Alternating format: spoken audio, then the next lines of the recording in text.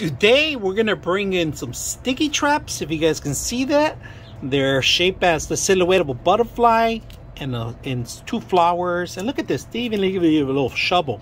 Now, these are sticky side. You double tape, double side tape if you see it. You remove it and then you paste them in the actual plant.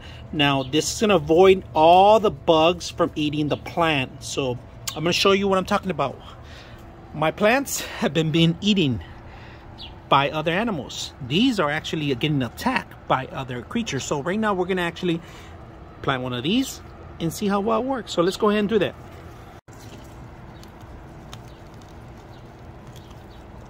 There we go, we plant it in there. We're gonna come back and see how well it works.